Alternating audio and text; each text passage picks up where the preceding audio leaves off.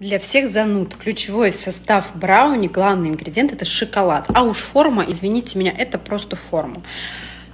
И шоколад бывает совершенно разный. Но если вы реально покопаете рецепт, то вы увидите, что брауни разных вкусов делаются вообще без шоколада. И тут я согласна, это вообще не брауни, и нам прям не туда. Я наконец-то довольна внутренней текстурой. Он клубничный, он без красителя, это естественный цвет, то есть они, естественно, такие. Если хотите прям красный, нужно добавлять краситель, без этого никуда. Здесь без красителя, но здесь ничего и нету. Так, в основном одна клубника. Пробуем, пробуем. О, боже. Боже. Да, это то, что я хотела. М -м -м.